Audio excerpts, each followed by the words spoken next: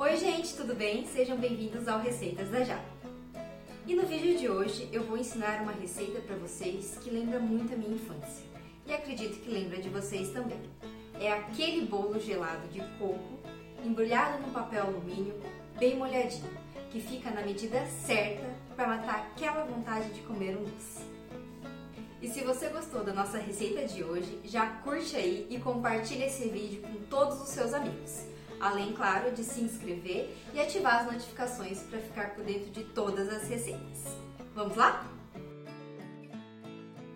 E os ingredientes para a massa do bolo são 4 ovos, já separado a gema da clara, 2 xícaras de açúcar, 200 gramas de manteiga, 2 xícaras e meia de farinha de trigo, uma xícara de amido de milho, uma colher e meia de sopa de fermento químico, uma xícara de suco de laranja, meia colher de sopa das raspas de laranja e meia colher de chá de sal.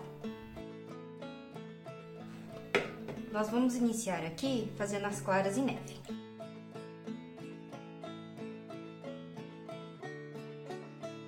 Para quem não sabe, o ponto da clara em neve é quando a gente vira assim o bowl e ele não cai. Agora, numa outra vasilha, nós vamos colocar as gemas, a manteiga e o açúcar. E vamos bater aqui até clarear a gema, até virar um creme.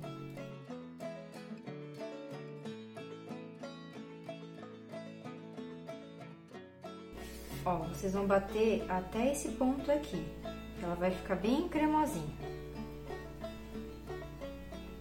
Agora então, nós vamos acrescentar a colher de chá, meia colher de chá de sal, as raspas e os outros ingredientes, farinha, amido de milho e o suco da laranja, nós vamos intercalando enquanto nós vamos batendo o restante da massa.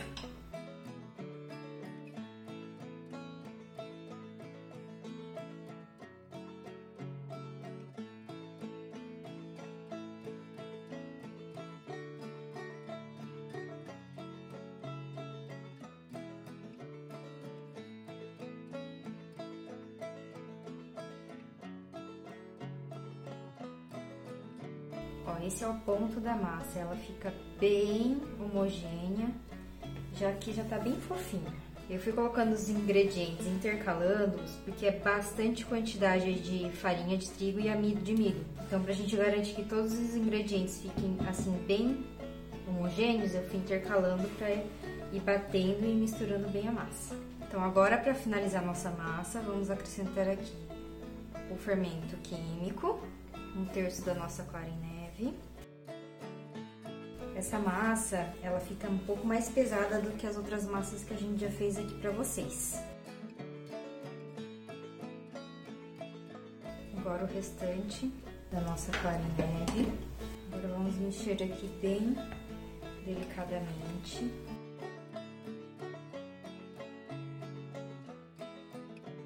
Vamos colocar a massa agora massadeira retangular.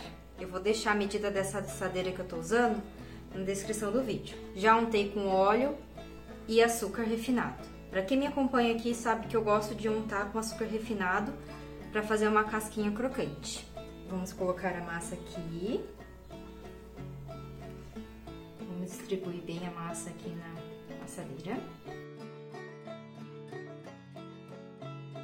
E agora vamos levar ao forno a 180 graus por 40 minutos. Vai depender do teu forno aí, tá? Depois vocês façam um teste do palitinho para ver se a massa já tá assada.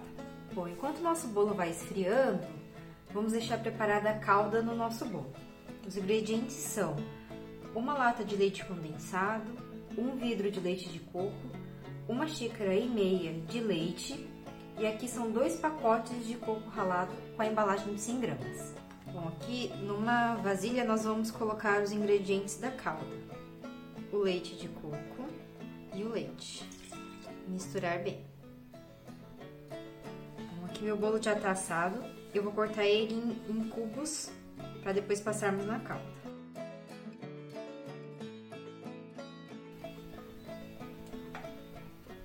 Olha como a nossa massa ficou bem fofinha.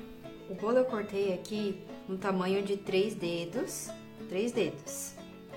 E o tamanho do papel alumínio eu vou deixar na descrição do vídeo para vocês aqui. Ó, nós vamos pegar pedaço por pedaço, molhar aqui na calda e já passar no coco.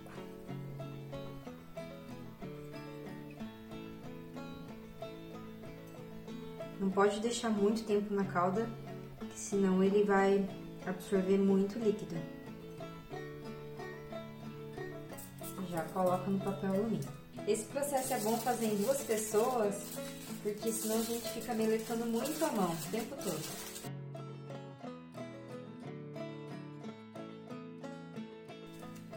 Aqui o nosso bolinho. Agora é só colocar, embrulhar todos, colocar na geladeira por duas horas e ele já vai estar pronto, bem geladinho, molhadinho para ser consumido. E agora, depois de pronto, consumir ele em até 5 dias na geladeira, porque como vai muito leite, o tempo de validade é um pouco curto. Se você preferir, pode colocar no congelador, que ele dura até 3 meses.